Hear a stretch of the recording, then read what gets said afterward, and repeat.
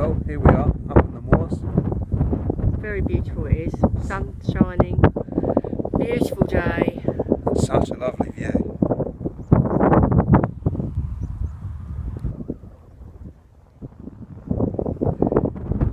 We're having a lovely time. We are. Dad's sitting in the car because it's too cold for him.